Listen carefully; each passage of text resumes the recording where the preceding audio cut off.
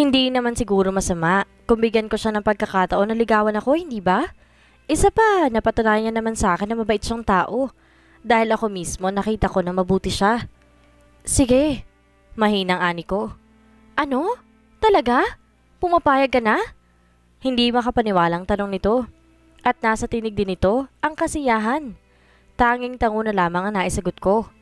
Kitang kita ko kung gaano siya kasaya nang pumayag ako. At sa sobrang saya nito, niyakap niya ako. I promise Angela, hindi ka magsisisi sa desisyon mo. Bulong nito sa akin. Alam ko naman yun eh. Malaki ang tiwala ko sa iyo, Jordan. Tumagal ng ilang minuto yung yakapan namin. Um, Jordan, mukhang kailangan na nating bumalik sa room natin. Utal na sabi ko. Pwede bang dito muna tayo? Hmm? Ang lamyos ng boses nito. Hindi pwede. Alam mo naman na kailangan kong i-maintain yung grades ko, hindi ba? Hays, okay lang naman. Kahit mawala ang scholarship mo, ako na lang magpapaaral sa iyo. Sira ka talaga. Natatawang sabi ko. Tara na nga. Yaya ko dito. Hindi mawala ang pagkakangiti ko hanggang sa mag-uwian na. Ewan ko pero parang feeling ko parang lumulutang ako sa lapaap. Ganito ba talaga kapag yung taong gusto mo ay may gusto rin sa'yo? Ay, hindi lang pala gusto. Dahil ang sabi niya, mahal niya na raw ako. Niligpit ko na yung mga gamit ko at isinilid ito sa bag ko. Pagkatapos ay agad na akong tumayo at lumabas ng room. Pagkalabas na pagkalabas ko pa lamang ng pinto, bumungad na kaagad sa akin si Jordan. At hindi lang yun, kasi may dala pa itong bulaklak. Para sa'yo. Nakangiti nitong sabi sabay abot ng bulaklak sa akin. Agad ko itong tinanggap at nagpasalamat. Salamat. Nahihiyang sabi ko. At pagtingin ko sa paligid ko, saka ko lamang napagtanto na marami palang estudyante ang nakatingin sa amin. Yung iba nga parang papatay na ako kung makatingin. Pero hanggang tingin na lamang sila dahil takot lang nila sa future boyfriend ko, no?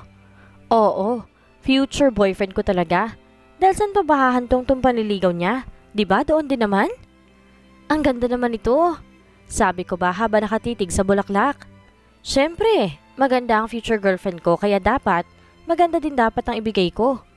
Sa sinabi niya ay hindi ko naiwasang pamulahan ng mukha. Tara, iyahatid na kita. Pero bago yun, kakain muna tayo. At wag ka nang tumanggi pa dahil manliligaw mo na ako. Ano naman ang kinalaman ng panliligaw mo sa pagtanggi ko, hmm? Siyempre, pag tumanggi ka, hindi ko mapapakita sa'yo kung gaano ko kaseryoso sa'yo. Jordan kasi, hindi ako pwede. Baka kasi mag-alala si lola ko. Sa bagay, dapat good shot ako kay lola. Kaya magte-take out na lang tayo ng pagkain para sa'yo at para sa lola mo na rin. Hindi kaya magtaka si lola kung saan galing yung pagkain? Ang sabihin mo, bigay ng gwapo mong manliligaw. Jordan, seryoso ako. Seryoso naman ako sa'yo ah. Jordan naman eh. Tawa nito. Okay, ang sabihin mo na lang, pablo out ng school para sa mga estudyante. Kakahatid ko lang kay Angela sa bahay nila. At eto ako ngayon, tinatawagan si Kyle. Hello Kyle, magkita tayo sa bar ni Cody. Tawagan mo rin yung isang yun. Sabihin mo magkita ka mo tayo sa bar niya. Bakit? Anong meron? Tanong ni Kyle. Magsa-celebrate tayo. Anong isa-celebrate natin? Mamaya ka na magtanong. Magkita na lang tayo sa bar. Ang saya naman ng araw na to. Sa bar. Ano bang isa-celebrate natin, Jordan? Tanong ni Kyle. Simple lang. Pinayagan na ako ni Angela na ligawan siya. Masaya kong balita sa kanila. So, itutuloy mo talaga yung inuutos sa'yo ni Kiana? Si Cody. Oo, alam na nila ang tungkol sa pinapagawa sa akin ni Kiana. Wala naman ako maitatago sa dalawang to. Bukod kasi sa mga dakilang chismoson dalawang to, dakilang pakailamero din sila. Nalaman ko na lang, alam na pala nila nang minsang madulas si Kyle at nasabing, Talagang bilib na ako sa'yo, Jordan. Sa kagustuhan mo talagang makuha si Kiana, pati si Angela na walang kamuwang-mawang idadamay mo? Sa sinabi niyang iyon, alam kong may alam na sila. Siyempre naman, ngayon pa ba ako aatras kung kailan nasimulan ko na? Sagot ko kay Cody. Hindi ka ba naaawa dun sa tao? Tanong ni Cody. Hindi. Walang ganang saad ko. Hindi ka ba natatakot na karmahin? Si Kyle. Pre, ikaw nga hindi natatakot. Ako pa kaya? Natatawa kong sabi. Tsaka, meron pang ganun? Kasi sa tingin ko, wala. Dahil kung meron man, ikaw mauunang kakarmahin kaysa sa akin. Sabi ko kay Kyle. Wow, ako pa talaga? Baka ka mo si Cody. Sabi pa ni Kyle. Oo nga pala, Cody. Kamusta ang buhay may asawa? Tanong ko dito. Ganun pa rin. Nothing interesting. Nothing special. Simpleng saad ni Cody. Nako, Jordan. Huwag mo nang tanungin yan. Buhay binata pa rin yan. Ni ayaw nga tayong pakilala sa asawa niya. Sabi pa ni Kyle. Oo nga naman, pre. Kailan mo ba kami papakilala? Tanong ko kay Cody. Wala akong balak na ipakilala siya kahit kanino man. Hindi pa ako nasisiraan ng bait para gawin yun. Seryosong saad ni Cody. Napakaseryoso naman ng isang to. Mabuti pa mag-inuman na lang tayo. Uminom na lang tayo. Ako ang taya, akong bahala magbayad.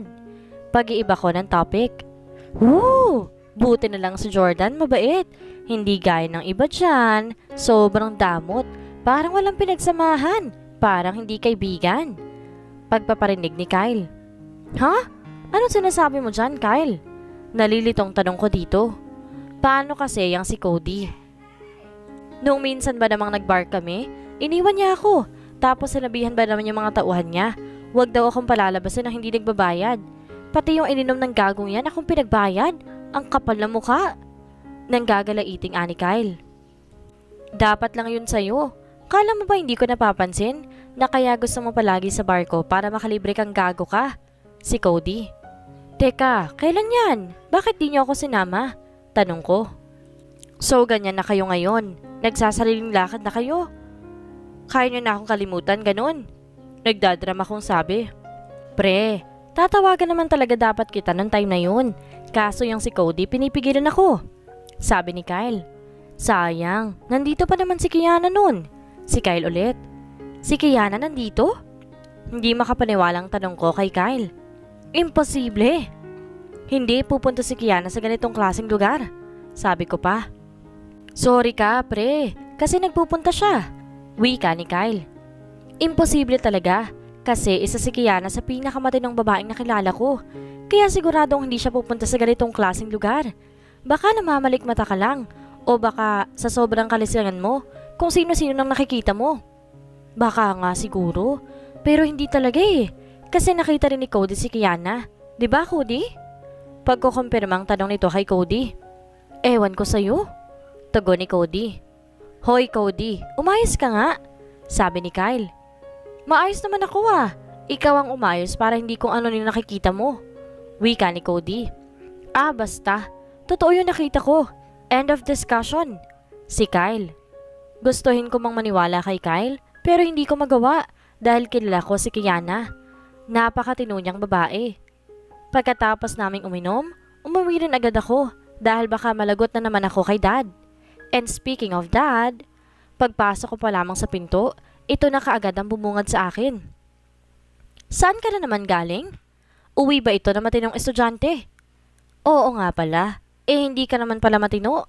At higit sa lahat, hindi ka estudyante. Dahil oo nga, pumapasok ka, pero wala ka namang ginawa kundi matulog sa klase. At hindi ka pa nakontento Talagang nagkakating classes ka pa. Galit na sabi nito.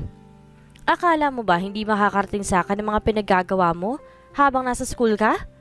At mukhang hindi ko na rin kailangan pang itanong kung saan ka galing dahil alam ko na.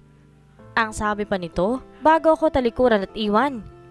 Kahit pa nasermonan ako ni dad, hindi pa rin maaalis to ng kasiyahang nararamdaman ko.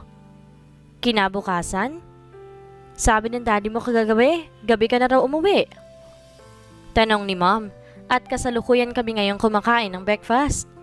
Mom, nagkain lang po kami ng mga kaibigan ko na uminom. Jordan, anak, alam kong nasa tamang edad ka na, pero gusto lang naman ng daddy mo, namin, na mapabuti ka. Kaya kung lagi ka man itong napapagalitan o napagsasabihan, intindihin mo na lang ha? Dahil para rin naman yun sa'yo. Sabi ni mommy, sige na, bilisan mo nang kumain at baka malate ka pa. Sa school. Nandito ako ngayon sa likod ng school, kasama si Kiana. Paano ba yan? Pinayagan na ako ni Angel ang ligawan siya. Masaya kong balita kay Kiana. Yun lang ang sasabihin mo kaya mo ako pinapunta dito? Bored na tanong nito. Kung yun lang din naman pala, Sana tinext mo na lang ako. Hindi mo man lang ba, ba ako babatiin sa nagawa ko? Bakit naman kita i-congratulate? Ang sabi ko, paibigin mo siya. Yung tipong sa'yo na umiikot ang mundo niya. Malapit na, Kiana. Konti na lang. Pwes, bilisan mo. Kasi porke hindi kita binibigyan ng palugit, ibig sabihin nun, patatagalin mo na at paghihintayin mo na ako. Sige ka, baka bigla na lang akong mainip at maisipang patigilin ka na lang. Wag naman, ito na nga, ba? Kakasabi ko lang, konting panahon na lang. Panibagong araw na naman. At ngayong araw, mag-uumpisang manligaw sa akin sa Jordan. Sa totoo lang, hindi ko naman in-expect na darating ang araw na to. Sabi nila, ang pag-ibig daw ay matibay kung mag-uumpisa sa pagkakaibigan. Ibig bang sabihin nito, si Jordan na talaga ang para sa akin? Kasi kung oo, thank you Lord dahil binigay mo sa akin si Jordan. Sobra po ako nagpapasalamat. Ano iniisip mo? Tanong ni Jordan. Oo, magkasama kami ni Jordan ngayon. Nagulat na nga lang ako kanina. Paglabas ko ng eskinita sa amin, nakita ko agad yung sasakyan nito na nakaparada. Ang sabi niya pa, siya na daw magsusundot maghahatid sa akin. Kasi ganun daw ang ginagawa ng mga gwapo at mabait na manliligaw. Na totoo naman dahil gwapo naman talaga siya at mabait. Uy, sabi ko anong iniisip mo? Ulit pa nito. Um, wala. Hindi lang talaga ako makapaniwala na ikaw na magsusundo sa akin palagi. Ang saya lang kasi siguradong malaki ang matitipid ko. So, kaya ka masaya dahil makakatipid ka, ganun ba? Nakangusong sabi nito. Sa ginawa niyang pagnguso, hindi ko napigilang matawa. Ngayon naman tinatawanan mo pa ako. Pasensya na, ang cute mo kasi nung nakanguso ka eh, kaya natawa ako. Gwapo ko, hindi cute. Reklamo nito. Tsaka ang salitang cute, ginagamit lang yun sa mga alagang hayop, like dogs and cats. Kaya gwapo ako, hindi cute. Dagdag pa nito. Hala, hindi naman kaya. Ang salitang cute pwedeng gamitin sa kahit ano, mapahayop man yan, bagay or tao. Hindi ito pang hayop lang katulad ng sinasabi mo, no? Si Kyle lang sabihan mo, kasi siya nagturo nun sa akin. Kyle? Ay, oo nga pala. Hindi pa pala kita napapakilala kay Kyle at Cody. Mamaya ipapakilala kita. Um, Jordan, hindi na kailangan kasi kilala ko na sila. Ha?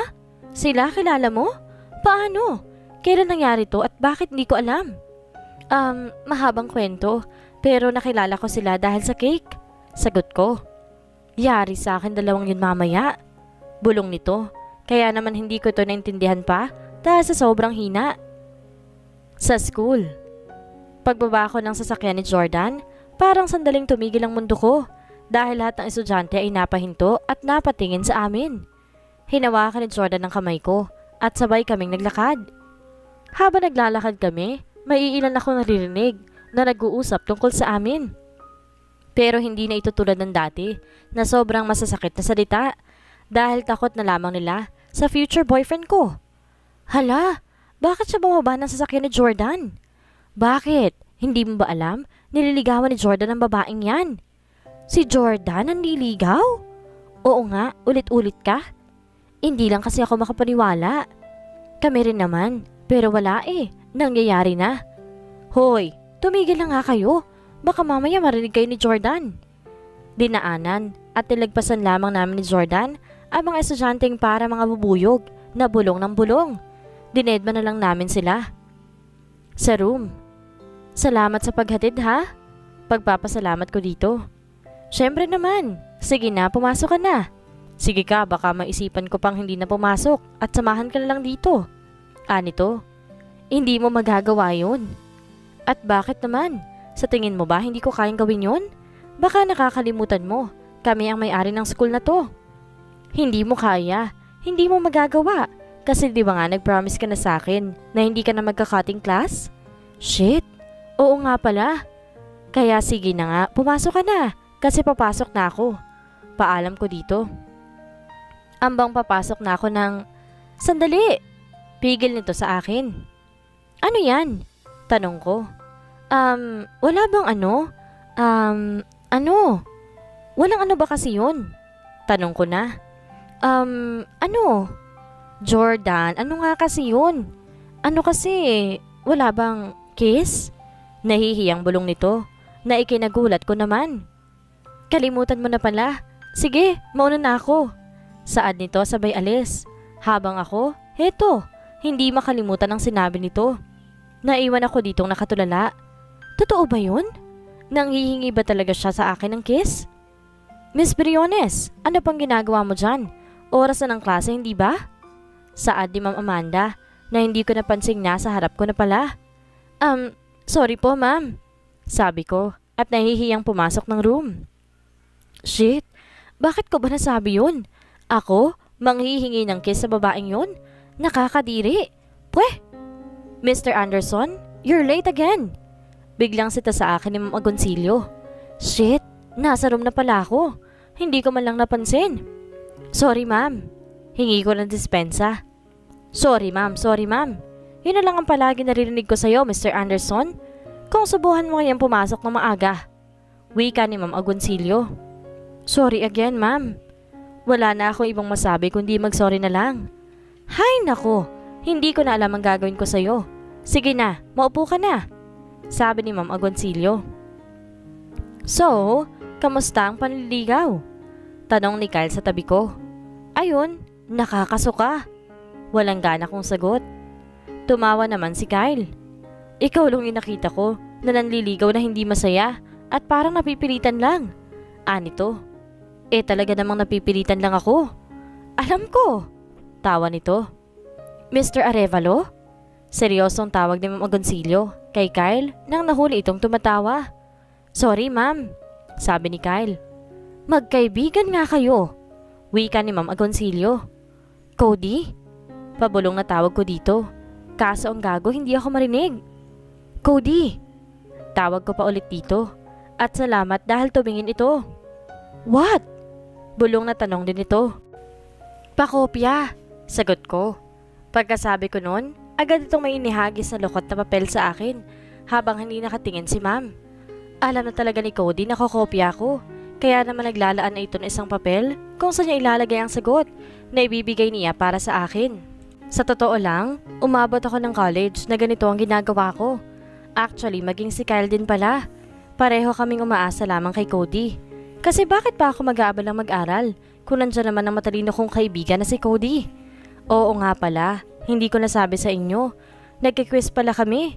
Whist kasi to si ma'am. Bigla na lamang nagpapaquiz. Tapos ang malala pa, pinaghiwa-hiwalay ba naman kami ng upuan ni na Cody at Kyle? Mukhang naramdaman nito na magkokopyahan lang kami. Pero sorry siya dahil hindi niya kami maiisahan. Pagkatapos kong kopyahin ang sagot sa papel, agad ko itong binato kay Kyle. Yung mga klase ko naman, tahimik lamang dahil takot lamang nila sa amin. Lunch break. Eto ko ngayon, pupuntahan na si Angela. Gustuhin ko mang si Kian ang puntahan ay hindi ko magawa dahil baka tarayan lang ako noon. Kesyo hindi pa tapos yung pinapagawa niya. Kaya naisip ko, tapusin mo na tong pinapagawa niya bago ko i-claim yung price ko. Pre, hindi ka ba nahihirapan? Biruin mo, sa kabilang building pa yung room ni Angela. Tapos ang layo-layo pa, ang init-init pa. Tapos aaraw-arawin mo tong nilalakad. Biglang sabi ni Kyle sa tabi ko na hindi ko alam kung bakit. Gusto mong tapusin ko ang buhay mo? Tsaka, teka nga muna, bakit ba kayo nakasunod sa akin? Tanong ko dahil maging si Cody nakasunod din sa akin. Ano pa ba? E di sasabay kaming kumain sa inyo? Sagot ni Cody. Bakit kayo sasabay sa amin? Tanong ko. Simple lang. Namiss kasi kasi na namin kasabay kumain. Sabi ni Kyle. Ano daw? Namiss nila akong kasabay na kumain? Tsaka gusto na namin makilala si Angela para kasing wala kang balak ipakilala sa amin. Ani pa ni Kyle. Buti na lang pinaalala nyo sa akin. Akala nyo ba hindi ko malalaman? Nakipagkilala kayo kay Angela. Bakit di sinabi sa akin ang tungkol doon? So, kung hindi pa nasabi sa akin ni Angela, hindi ko pa malalaman? Kompronta ko sa kanila. Easy lang, pre. Galit ka na niyan? Porke nakipagkilala kami sa iyong... Angela? Wika ni Kyle. Ako? Galit? Hindi ah. Bakit naman ako magagalit? Defensive kong saad. Sino niloko mo? Eh kitang kita na sa pamumukha mo. Sabi ni Kyle. Ewan ko sa inyo. Bahala nga kayo dyan. Rinig na rinig ko ang tawanan ng mga gago na nasa likod ko lang. Mga busy talaga. Bakit naman naisip nilang nagagalit ako? Hindi kaya. Tsaka ganun lang talaga yung naging reaction ko. Kasi halata namang nang iinis lamang sila. Kung nagalit man ako, sa kanila yun. At hindi dahil sa nagpakilala sila kay Angela nang hindi ko alam. Ang titigas ng mukha nila. Talagang sasabay pa silang kumain sa amin ni Angela. Samantalang hindi pa naman ako pumapayag. Pagkarating namin sa room ni Angela, siya na lamang ang tao doon at naabutan namin itong may sinusulat. Lunch na pero aral pa rin ang aral. Hi Angela! Bati ni Kyle kay Angela. Kaya naman napangat ito ng tingin dito. At talagang inunahan pa ako nang gagong to sa pagbati kay Angela. Ano siya? Papampam na epal? Hello din sa'yo, Kyle. Bakit ka nga pala nandito? Nakangiti nitong tanong kay Kyle. Si Kyle talaga yung unang panansin kaysa sa akin? Um, makikisabay mag-lunch, sagot ni Kyle. Talaga? Ang saya naman kung ganun. Masayang sabi nito. Pero sayang naman, hindi mo matitikman yung luto ng lola ko. Kasi konti lang nila kong baon. Sakto lang para sa amin ni Jordan. Malungkot na pang-ani ni Angela. Ganun ba? Sayang nga. Ani Kyle. At naglungkot-lungkutan pa nga ang gago. Talaga bang hindi niya ako papansinin? Pero pwede naman kitang hatian. Sabi ni Angela. Talaga? Sagot ni Kyle. At ito namang gagong to. Aliw na aliw kay Angela. Oo naman. Wika ni Angela. Nakakahiya naman. Kamot ulong sabi ni Kyle. Nagpapakit ba siya kay Angela? Eh kung sipain ko kaya siya, at dapat lamang talaga na mahiya ka. Kung wala lang si Angela dito, kanina pa kitang sinikmuraan. Magnanako ka ng atensyon na para naman talaga sa akin. Huwag ka nang mahiya, di ba nga magkaibigan na tayo? Sabi ni Angela. Ano? Magkaibigan na sila? Ang bilis naman. Magkaibigan na tayo? Si Kyle. Oo, kayo ni Cody kasi. Mabait naman kayong tao. Tapos, libre niyo pa nga ako ng cake. Wika pa ni Angela. Ano? May librihan pa ng cake na nangyari? Hindi na ako nakatiis. Hindi kayang maghintay na lamang, napansin ni Angela. Kaya naman, ahem ahem, Tikim ko para naman mapansin ni Angela na nandito rin ako. Oh, Jordan, nandyan ka pala. Bati ni Angela. Oo, kanina pa. Ngayon mo lang ba napansin? Sabi ko, sa sarcastic tinig habang na sambaras naman ang mukha ko. Samantalang yung dalawa ko namang magaling na kaibigan, nagpipigil ng tawa. Bakit di ka malang nagsasabi na nandyan ka pala? Tanong ni Angela. Talaga bang hindi niya ako napansin? Buisit? Mukha kasing nag enjoy ka pang kausap si Kyle. Kaya naman hindi ko na kayo inistorbo pa. Pinigilan kong hindi maging sarkastiko. Oo, nag-enjoy talaga akong kausap si Kyle. Ay, ang galing! Hindi man lamang pinagkaila. Ay, Cody, nandyan ka rin pala. Hello sa'yo. Nakangiti nitong bati kay Cody. Hello, bati ni Cody. Hindi ko alam na magkakaibigan pala kayong tatlo at pare-pareho pang mababait. Wika ni Angela. Maging ikaw rin ba, Cody? Sasabay sa amin kumain? Kung okay lang sa'yo. Sagot ni Cody. Okay na okay, sabi ni Angela. Ano? Dead man naman yung presensya ko. Si Cody naman ngayon. Ako sa isip-isip ko. Tara na nga, kumain na tayo. Nagugutom na ako. Inis na sabi ko. Ni hindi man lang nahalata ni Angela na naiinis ako dahil todo pa rin napakikipag-usap niya sa dalawa lalo na kay Kyle. At ayun nga, sabay-sabay kaming kumain sa kantin dahil hindi naman pwedeng sa room kami ni Angela kumain dahil hindi naman kasya ang baon nito para sa aming apat. Tsaka yung baon nito para sa akin lang talaga. Nandito kami ngayon sa kantin at kumakain. Ang saya lang kasi kasama namin si Cody na ewan ko kung bakit bigla lang naging seryoso. Kasi nung minsan magkausap kami, tumatawa at ngumingiti pa siya. Si Kyle naman sadyang nakakatuwa dahil sa kakulitan nito. Jordan, baka naman pwedeng patikim. Ani Kyle. Ayoko nga. Ani Jordan, sabay layo ng baunan ko kay Kyle. Pero ang sabi ni Angela, bibigyan niya raw ako. Napapatikimin niya daw ako ng konti. Sabi ni Kyle. Si Angela yun. Bakit? Ako ba si Angela? Sagot ni Jordan. Paano kasi? Ang duga mo. Sinolo mo na yung baon ni Angela. Ani Kyle. Paano ba naman kasi? Talaga namang sinolo ni Jordan ang baon ko. Tapos, bililhan na lang ako ni Jordan ng ibang pagkain. Napabor naman sa akin. Dahil sobrang sarap itong kinakain ko ngayon. Malamang para sa akin to eh, sabi ni Jordan. Ang tigas na mukha mo. Eh baon naman ni Angela yan, hindi sa'yo. Nakikikain ka lang naman din. Tanging pagdila lamang ang sinagot ni Jordan kay Kyle. Sa ginawang yun ni Jordan at sa pinapakita niya ngayon habang kasama ang dalawang kaibigan niya, nakita ko ang isang pang side nito na hindi ko inakala. May likas pala talaga itong pagiging makulit at may pagka-isip bata rin. Nakakatuwa siya. Hindi ko naman napigilang mapatingin kay Cody. Seryoso ba talaga siyang tao? Kakatapos lang namin kumain. At eto, naglalakad na kami ni Jordan papuntang room ko. Jordan? Mm. Salamat ha. Salamat saan? Sa kaibigan. Nang dahil sa'yo, nagkaroon ako ng kaibigan. Nagkaroon ka ng kaibigan kasi mabuti kang tao. Kayo rin naman, mabuting tao. Kung alam mo lang. Bulong nito. Ano? Ah, wala. Oo nga pala. Pansin ko lang kanina, si Cody ba, ganun ba talaga siya? Para kasing ang tahimik niya. Masyado siyang seryoso. Kasi nang minsang nagkausap naman kami, hindi naman siya ganun. Tumatawa pa nga siya eh. Huwag mo na lang intindihin ang isang yun. Ganun talaga yun. Pre, anong problema mo? Pansin ko lang ang tahimik mo kanina. Usisa ni Kyle. Hindi ka pa ba nasanay? Eh lagi naman akong tahimik. Sagot ko. Hindi eh, parang may something talaga sa'yo kanina. Lahat na lang napapansin mo. Lalaki ka ba talaga, Kyle? Malamang. Aba, anong tingin mo sa akin? Babae? Muntik na. Sagot ko.